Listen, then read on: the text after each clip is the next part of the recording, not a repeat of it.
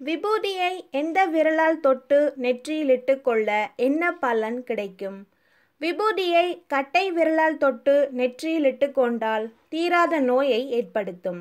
விபூதியை ஆள்காட்டி விரலால் தொட்டு நெற்றியிலிட்டு கொள்வதால் பொருட்கள் நாசமாகும்.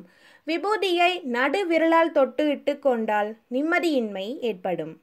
சுண்டு விரலால் விபூதியை தொட்டு நெற்றியில் வைத்தால் கிரகதோஷத்தை ஏற்படுத்தும். விபூதியை மோதிர விரலால் தொட்டு நெற்றியில் இட்டுக்கொண்டால் மகிழ்ச்சியான வாழ்க்கை அமையும். மோதிர விரலாலும் கட்டை விரலாலும் சேர்த்து விபூதியை எடுத்து மோதிர விரலால் விபூதியை இட்டுக்கொண்டால் எடுக்கும் முயற்சிகள் அனைத்தும் வெற்றி அடையும் விபூதியை வடக்கு அல்லது கிழக்கு திசையை நோக்கி நின்று கொண்டு கீழே சிந்தாமல் வலது கையின் ஆட்காட்டி விரல் நடுவிரல் மோதிர விரல் ஆகிய மூன்று விரல்களால் எடுத்து அண்ணாந்து நின்று நெற்றியில் பூசிக்கொள்ள வேண்டும்.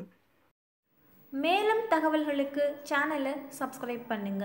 வீடியோக்களை உடனுக்குடன் பார்க்க பக்கத்தில் இருக்கிற பெல் பட்டனையும் கிளிக் பண்ணுங்க. தேங்க்யூ